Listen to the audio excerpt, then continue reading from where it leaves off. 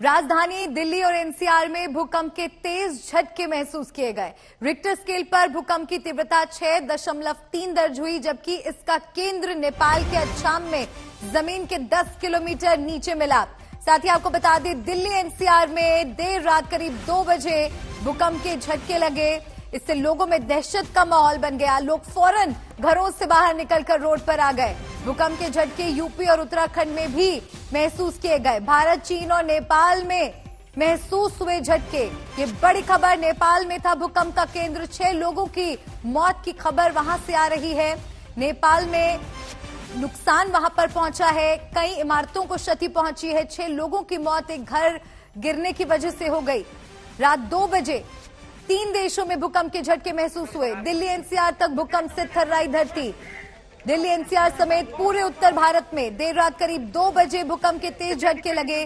नेपाल में घर गिरने की वजह से मरने वालों की संख्या छह हो गई।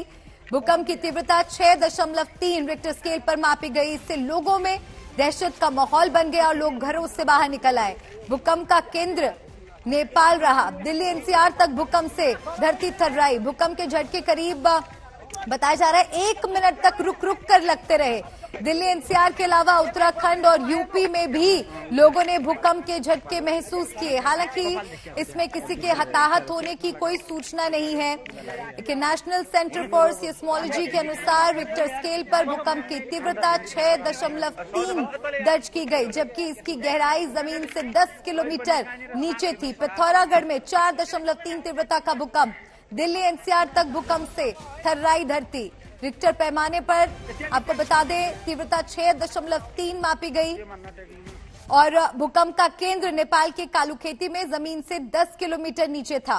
वहाँ भूकंप के झटके करीब एक बजकर सत्तावन मिनट पर महसूस किए गए। रात तीन बजकर पंद्रह मिनट पर नेपाल में लगभग उसी जगह पर एक बार फिर से भूकंप का केंद्र दर्ज किया गया। और अब धीरे धीरे तस्वीरें और जानकारी सामने निकल कर आ रही है, क्योंकि देर रात ये झटके महसूस किए गए।